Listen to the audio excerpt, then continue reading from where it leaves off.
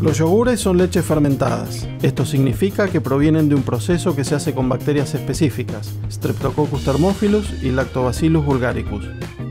Estas bacterias realizan el proceso fermentativo como forma de obtener la energía para la vida, y para ello utilizan la lactosa que es el azúcar natural de la leche.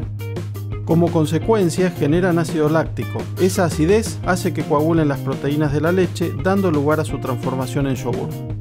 Un yogur de 100 gramos aporta todos los nutrientes de la leche y también no menos de mil millones de bacterias lácticas vivas y capaces de reproducirse.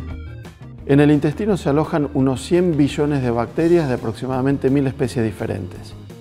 Dentro de estas bacterias encontramos bacterias buenas y bacterias malas, que en conjunto se encuentran en equilibrio. Por eso es tan importante consumir alimentos que aporten gran cantidad de bacterias beneficiosas. Estas bacterias que conforman la flora intestinal constituyen la primera línea de defensa del organismo.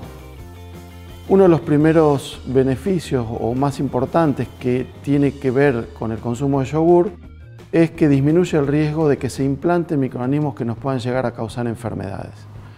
Pero además el yogur nos aporta otro tipo de bacterias buenas que se conocen como probióticas. Estas contribuyen a aspectos específicos de la salud como puede ser el funcionamiento del intestino o la respuesta inmunológica.